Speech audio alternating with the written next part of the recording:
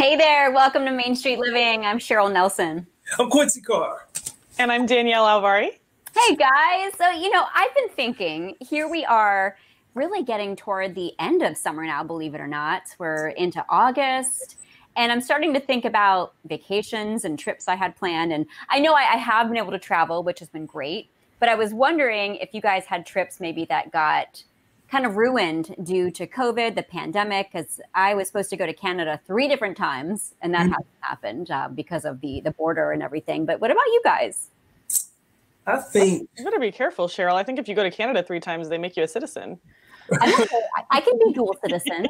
well, well, but Cheryl, like at the same time, you've had a lot of things canceled, but you've also gone a lot of places in the last couple. You've been of living, months. There's there's always a workaround. There's always oh, something else. but Quincy, wait, I know you had somewhere you had to be.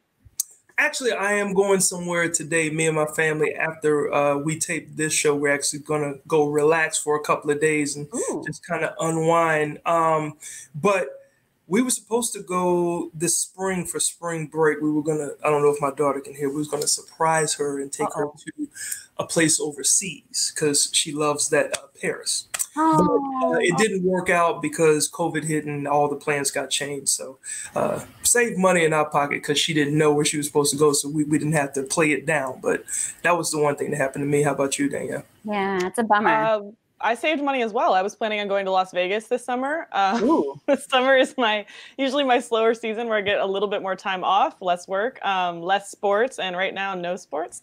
Um, so I saved money as well um, that I would have spent gambling probably. So, what kind of things do you do for gambling? What do you like to do?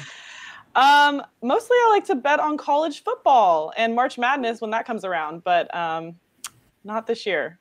But we'll uh, we'll talk about that more later in the show, though. So. Yeah. At the casinos, though, what do you like to do in Vegas? Um, I'm just oh oh I don't do casinos. No no. Oh, you don't?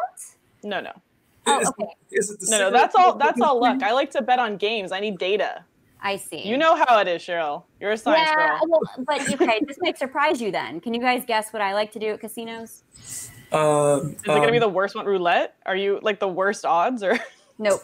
oh, I got it. I got stop the people from smoking. Is what are you saying about me? I don't know if I like that comment. okay. So when I'm when I'm 80, I'm probably going to be the old lady who's sitting there with the slot machine, pulling the thing and uh, pressing it over and over. Yeah, I I get addicted to the slots. And I'm sure you'll have your cats with you too. yeah, no. Meow. no, the, the cats they wouldn't handle all that. They'd be like, "All right, mom, we're done. This is this is enough." But Quincy, do you gamble? Uh, yeah, I only play the lottery. Okay. Yeah. yeah. Have you yeah. ever won anything? Uh, clearly, I'm on the show, so I have not won yet. Okay. Danielle, so what is he saying about us? So if you I'm won the lottery, you'd be I'm like, "Peace I'm out." Still working. That's all working. Yeah, do it for the love of the game, Quincy. Oh, You'd be on the show anyway, right? Absolutely. If I won the lottery tomorrow, guys, I would be back here next week. Um, um, yes.